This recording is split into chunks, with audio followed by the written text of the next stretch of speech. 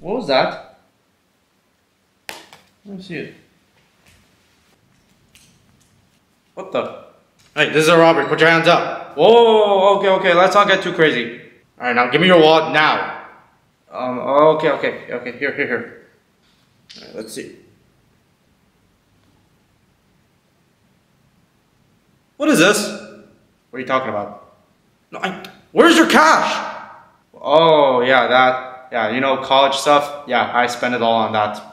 Yep, and they're pretty worth it because now I have a lot of textbooks, a lot of pencils, and yeah.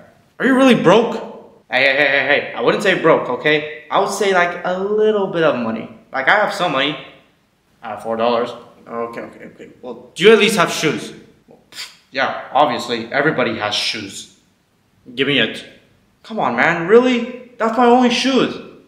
Don't make me pull the trigger. Okay, okay, okay, okay, I'll go get them. Okay, no, he better have some Jordans. I'm talking like Jordan. What is that? My shoes? Those are sandals. What's that? Are you really that broke? Again, not broke.